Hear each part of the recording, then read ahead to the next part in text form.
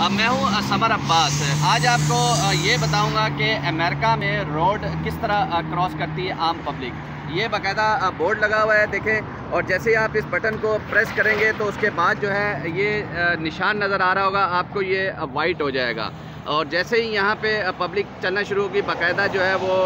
Timing देंगे कि आप जल्दी जल्दी रोड क्रॉस करें ताकि आम जो गाड़ियाँ यहाँ पे सिग्नल पे रुकी हुई हैं, वो जो है गुजर सकें। ताकि ये एक तरीका है आम पब्लिक के लिए जो सिग्नल बाकायदा या रोड क्रॉस करने का। ऐसा नहीं है कि कहीं से भी दिल किया जो है वो रोड क्रॉस करते हैं और अक्सर आपने देखा होगा कि हादसा इसी वजह से होते हैं कि बग़ैर इतला दिए जो अचानक रोड पे जो शख्स आ जाता है और जिसकी वजह से जो गाड़ी ड्राइव कर रहा है, उसे मुश्किल होती है गाड़ी रोकने में और एक्सीडेंट हो जाता है। तो इस तरह का निज़ाम जो है पाकिस्तान में भी होना चाहिए और जो दीगर शहर हैं हमारे, वहाँ पर भी ताकि जो आम पब्लिक है वो